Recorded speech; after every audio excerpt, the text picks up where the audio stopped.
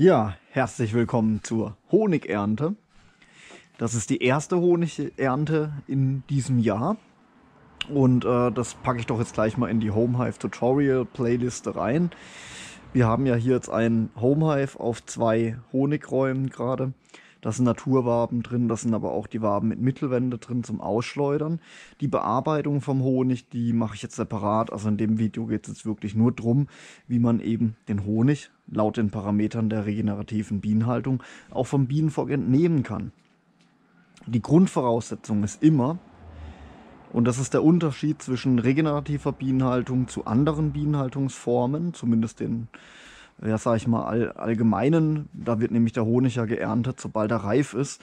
Und ähm, wenn die Bienen dann eine Durchlenzungsphase haben bis zur nächsten Tracht, wo wieder Nektar reinkommt, dann wird halt Zuckerteig den Bienen als Ersatz gegeben. Und da ist schon mal der Cut zwischen der regenerativen Bienenhaltung, weil Zunächst einmal wird nie alles abgeerntet. Ihr habt ja gesehen, dass ich im Jahresverlauf, das war sozusagen das, das erste Video, wo ich hier in diesem Jahr für diese Playlist gemacht habe, da haben wir ja noch die vier Futterwaben in der Mitte, die Bockel voll waren mit Futter, haben wir ja einen Querstrich gezogen. Das heißt, das Bienenvolk wird immer mindestens auf vier Waben belassen. Ne? Aber wenn ich jetzt so kalkuliere, dann habe ich ja, wenn ich in den 14-Tagesrhythmen arbeite, mit vier Honigwaben, ne, kalkulieren wir mit zwei Kilo pro Wabe, zwei, vier, sechs, acht. Habe ich acht Kilo drin in 14 Tagen, beziehungsweise in einer Woche fressen sie mir 3,5 in einer Woche, 500 Gramm jeden Tag ist der Tageskonsum für ein Bienenvolk. Wenn ich jetzt in meinen 14-tägigen Volksrhythmen bin, muss ich ja sicherstellen, dass bis zum nächsten Kontrolltermin die Bienen mehr als genug Nahrung haben, unabhängig von dem, was von draußen reinkommt. Das heißt, wenn ich im 14-Tages-Rhythmus das nächste Mal schaue, dann stelle ich auf jeden Fall sicher, dass das Volk mindestens diese Anzahl an Honig hat. Das wären pro Woche 3,5 plus nochmal eine Woche. Dann sind wir bei 7 Kilo die wir definitiv im Volk drin haben müssen. Natürlich ist immer gut, wenn da noch mehr Honig drin ist. Wir haben ja auch noch die unteren Bereiche, da ist auch an der Seite noch Honiggrenze drin. So, das wäre das Erste, was der Unterschied ist. Das Zweite ist, dass äh, wir immer erst dann abernten, wenn die nächste Tracht reinkommt. Beispiel, Obstblütenhonig wird abgeerntet, bevor die Rubinie blüht, beziehungsweise wenn sie blüht. Dann haben die Bienen nämlich zwar eine Entnahme vom Honig, aber sie sind sofort beschäftigt, wieder die nächste Ernte reinzutragen. Robinie wird geerntet ähm, oder beziehungsweise ich mache mal Robinie slash Blüte wird geerntet, wenn die Linde anfängt zu blühen. Hier in Grünwettersbach hat es jetzt sozusagen für die allererste Frühtrachternte nicht gereicht. Das heißt, was wir hier rausholen, ist jetzt ein Blütenhonig. Und äh, da unten sind tatsächlich gerade vor zwei Tagen die Linden aufgegangen, die jetzt so immer mehr anfangen zu blühen. Und äh, bevor man jetzt zum Beispiel eine Wabe rausnimmt, wo eben sehr viel Nektartropfen der Linde drin sind, ist genau jetzt der richtige Zeitpunkt zum Abernten. Ich weiß, die Zeitspanne ist da wirklich immer ganz knapp. Da muss ich mich privat auch wirklich zurücknehmen, wenn ich für die Kunden einen guten Honig haben möchte, weil ich brauche genau den Zeitpunkt. Der Honig bleibt so lange drauf, bis die nächste Tracht reinrollt. Und dann hat man ja eine Zeitspanne von ein paar Tagen. Ne? Also das kann man nicht über Tage und Wochen dann nehmen, sondern wenn jetzt die nächste Tracht kommt, muss man abernten. Es gibt noch eine zweite Alternative. Man lässt den Bienen ein ganzen Jahr sammeln. Das Bienenvolk türmt sich dann mit den Honigwaben und Ende des Jahres macht man dann eine einzige Ernte. Ist auch eine gute Option, ist auch das, was ich den Hobbyimkern empfehle, weil dann so nie die Gefahr besteht, dass ein Bienenvolk während der Saison einfach mal leer läuft. So, viel zum Thema, wann wir ernten. Und ihr seht ja, ich bin hier eigentlich gar nicht ausgerüstet, wie das sonst meine Berufsimker-Kollegen so tun. Ähm, ich habe viel, sag ich mal, weltweit mit der Imkerei gearbeitet und das Normale ist eigentlich, man nimmt eine Bienenflucht, weil es einfach schneller geht. Oder man nimmt so einen Beeblower, was nichts anderes eigentlich ist wie ein Laubbläsegerät oder so eine Hochdruckpistole mit, mit Pressluft drauf und dann schießt man die Bienen von den Waben runter. Also entweder sozusagen die Bienenflucht Um es kurz zu erklären, eine Bienenflucht ist so eine kleine Platte, ist One-Way. Also das heißt, die Biene von oben, die kann zwar runtergehen, aber dann nicht mehr nach oben und über die Nacht wird dann so ein Honigraum leer, hat allerdings Nachteile, der Honig wird A kalt und B, wenn die Bienen da nicht drauf rumkrabbeln, dann zieht er halt Wasser und das möchte ich nicht. Man hat mir drei Jahre in Zelle in der Ausbildung die Gott sei Dank traditionelle Imkermethode beigebracht, wie man tatsächlich per Hand sein Honig erntet. Und tatsächlich war das eines der Punkte, die ich mein ganzes Leben lang beibehalten habe. Warum? Weil es einfach wirklich mehr Qualität euch gibt. Wenn ihr einen richtig geilen Honig haben wollt, hey, dann müsst ihr halt einen Körpereinsatz dafür bringen. Und das bedeutet keine Bienenflucht, kein Beeblower, weil es eben für Bienen wirklich nicht so toll ist. Ähm, wir machen das wirklich traditionell mit einem Besen. Ähm, wie das funktioniert, brauche ich jetzt eigentlich nicht erklären, weil das seht ihr jetzt gleich Highlife in der Praxis. Ähm, zum Besen äh, sollte man natürlich wissen, es ist immer ein ganz neuer Besen und ja, es ist definitiv ein Kunststoffbesen. Ich bin auch ein Öko-Fan, aber Plastik hat tatsächlich auch in vielen Bereichen unglaubliche Vorteile. Das heißt, verdammen darf man das jetzt nicht. Ich benutze hier ausschließlich die kleinen AP Nord Bienenbesen. Das sind die, wo sich über die Jahre am meisten bewährt haben von allen möglichen Besen. Ich habe viel ausprobiert und das sind die, wo am meisten, am besten laufen. Da gibt es auch noch den größeren, den empfehle ich euch nicht. Warum, seht ihr gleich in der Praxis. Und ich habe da immer zwei, weil in der Sekunde, wo das Ding verklebt, muss ich den eigentlich sofort austauschen. Und deswegen, wenn einer verklebt, ab in den Eimer rein, auswaschen, das Wasser wieder richtig sauber machen und dann eine gewisse Zeit lang wieder abtrocknen lassen. Und in der Zeit kann ich mit dem anderen Besen weiterarbeiten. Es kann euch passieren, dass wenn ihr zwei, drei Honigwaben abfegt, der Besen hier oben anfängt zu schmieren und dann werden die Bienen auch wirklich pissig. Man kann sie dann dadurch übrigens auch verletzen mit einem verschmierten Besen. Deswegen ist ein guter Tipp, immer mal wieder den Besen kurz über den Handrücken so drüber streichen und wenn das dann anfängt hier zu schmieren, dann wisst ihr, hey, der Besen muss wieder in Wasser rein und neu gemacht werden. Des Weiteren habe ich auch mit den Besen tatsächlich so eine Art ähm, Kreislaufwirtschaft etabliert.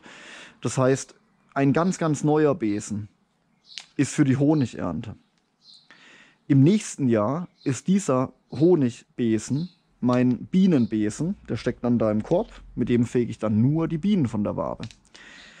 Wenn die Saison rum ist, dann wird der Bienenbesen zum im Winter Leichenbesen, weil ihr wisst ja, hin und wieder ploppen ja Leichen im Winter sozusagen runter. Und äh, wenn mal wieder mein Gitter in meinem Homehive-System feststecken sollte, dann muss ich da halt manuell hingehen, Klappe öffnen und mit dem Besen die Leichen fegen. Und dann ist ja klar, dass wir diesen Leichenbesen nicht mehr benutzen wollen. Das heißt, nach diesem Prozess ist er dann im Mülleimer. So, und ich würde sagen, bevor jetzt der Smoker durchbrennt, lege ich mal los. Was man will noch sagen muss, ihr braucht halt alles vor Ort. Ne? Also sprich, da muss halt eine leere Kiste stehen mit einem Holzunterboden. Und auch nochmal wirklich ein guter äh, Tipp. Normalerweise sollte man ja Bienenvölker ganz früh morgens ernten, vor dem Bienenflug. Also A sind da die Bienen wirklich pissig und B, ähm, wenn sie dann leer in den Tag starten, dann kriegt so ein Bienenvolk halt auch mal schnell wirklich Panik und geht in diese Räubereibereiche rein. Und deswegen habe ich mich dazu entschieden, ich ernte immer dann den Honig, wenn wir tatsächlich so kurz vorm Sonnenuntergang sind. Das ist das Angenehmste für die Bienen. Und man muss halt einfach schnell sein. Los geht's.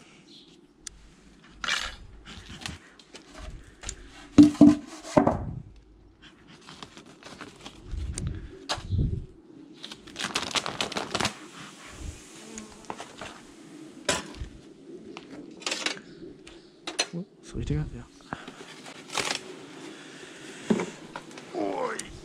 Gott sei der schwer. Hui.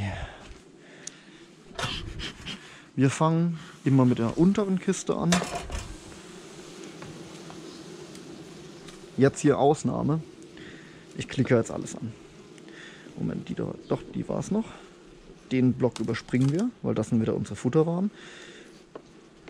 Genau, das waren ja bei dem vor ein paar mehr. So, und los geht's.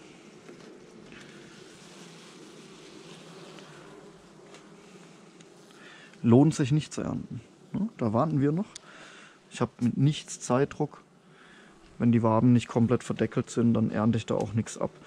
Macht ja auch keinen Spaß, sowas zu ernten. Hier zum Beispiel auch, ne? also das lohnt sich nicht zu ernten. Das geht auf die nächste Honigernte dann rein. hier, ja, eigentlich genauso, ne? Das lag an der Durchlenzungsphase vom Bienenvolk.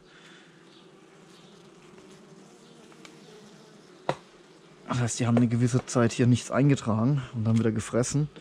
Und dann haben sie wieder neuen Nektar eingeschleppt und dann sehen halt die Waben tatsächlich oben verdeckelt aus. Aber hier seht ihr, sind ja wieder neue Nektareinträge drin und das geht dann halt definitiv auf die nächste Honigernte. Das jetzt abzuernten macht einfach keinen Sinn. Hier genauso. Ne? Ganz frische Wabe, das lassen wir drin. Sondern hier und hier genauso. Das bleibt dann auch drin. Da. Und selbe Spiel. Lohnt sich nicht abzuernten. Bleibt. Jetzt haben wir schon mal gesehen, dass wir in der unteren Kiste nicht weiterkommen.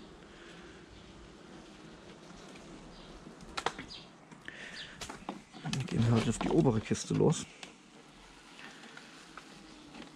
Und da sieht schon mal ein bisschen anders da aus. Die Wabe stellen wir auf Verdacht einfach mal raus. Dann wird alles angeklickert.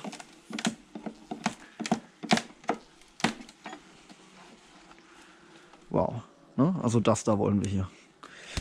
Voll verdeckelte Honigwaben. Und ihr seht schon, dass ich hier eine Doppeltechnik benutze. Weil ich benutze auf der einen Seite den Besen, aber am allerliebsten klopfe ich nur die Waben ab, weil das wesentlich effizienter ist.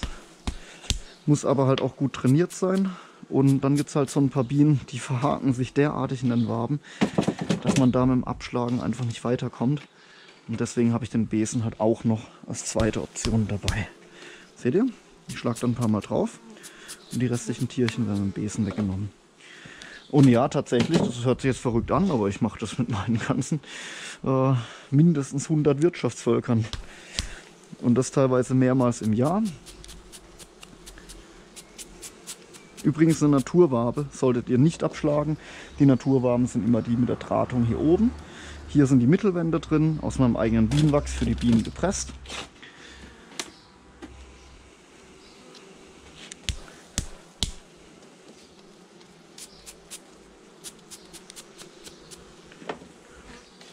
Und die Mittelwand-Honigwaben, das sind die, wo geschleudert werden.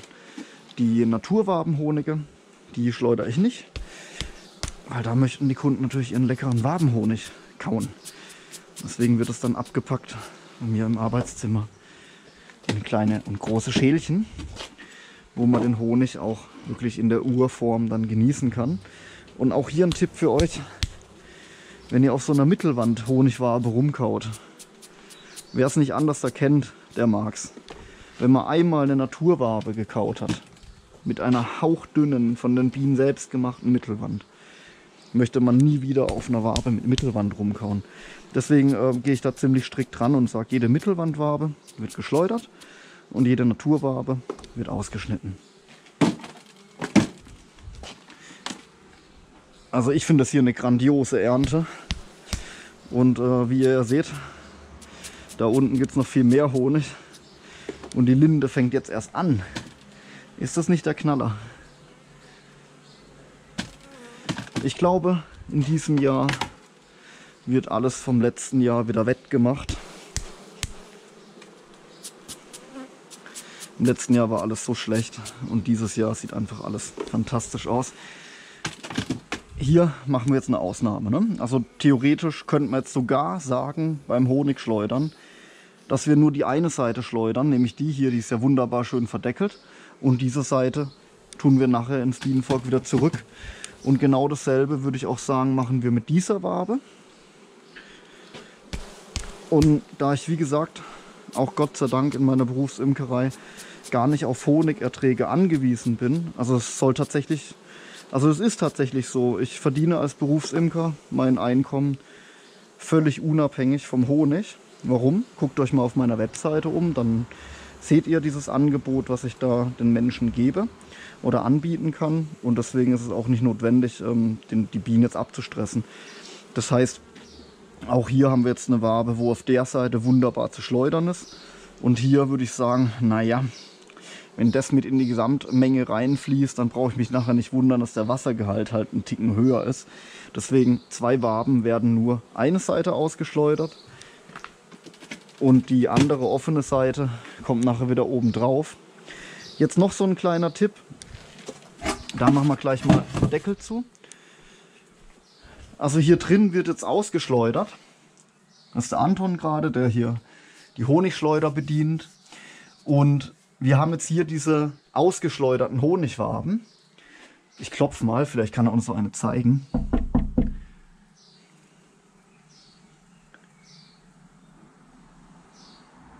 Ja, wir, wir müssen da mal kurz gucken. Ähm, zeig uns mal so eine gelbe, eine schön gelbe, ausgeschleuderte Honigwabe. Wunderbar, perfekt. Seht ihr, das ist eine perfekte ausgeschleuderte Honigwabe, die jetzt allerdings verklebt ist. Und die muss ja jetzt wieder zu einem anderen Bienenstand übrigens. Und äh, solche Waben, die verklebt sind, könnt ihr eigentlich nicht einlagern. Ihr müsst die wirklich direkt wieder in euer Bienenvolk reinsetzen. Und zwar sind da zum Beispiel dann die Lücken wieder zu füllen, die bei einer Honigernte entstehen. Und bestenfalls am selben Tag. Weil einen Tag später kann es zu spät sein. Wenn eine Lücke drin gelassen ist, dann kann es passieren, dass die Bienen schon eine Wabe gezogen haben, die dann eben nicht im Rähmchen sitzt, sondern an der Folie klebt. Und warum ich es jetzt gezeigt habe, man kann auch ein Bienenvolk direkt bei euch vor Ort. Man ist jetzt bei mir einfach praktisch gebaut, weil ich habe Honigraum und direkt nebendran habe ich meine Waschmaschine. Und äh, ja, in der Tat, ich benutze meine Bienen als Waschautomat.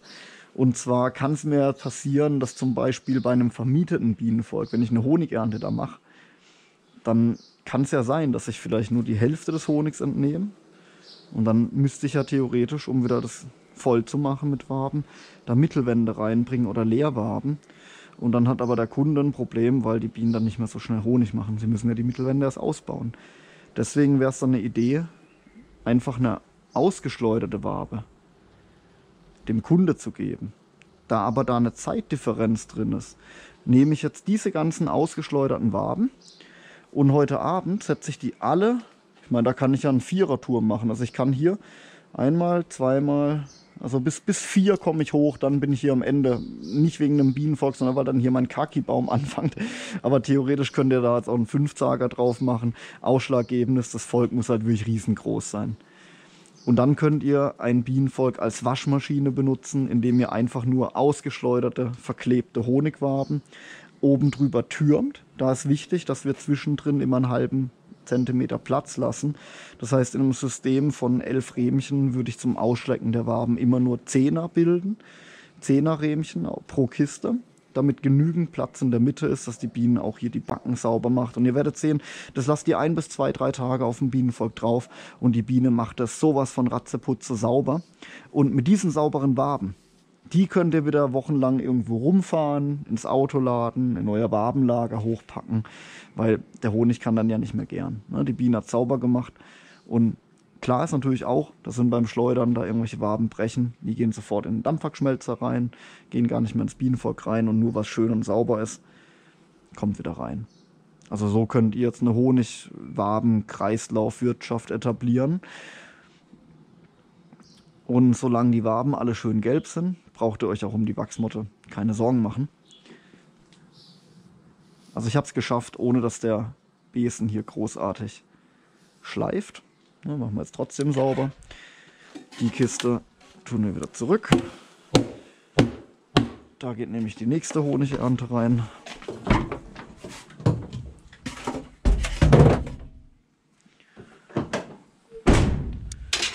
Und wie gesagt, später kommen dann hier die ganzen Waben wieder on, on top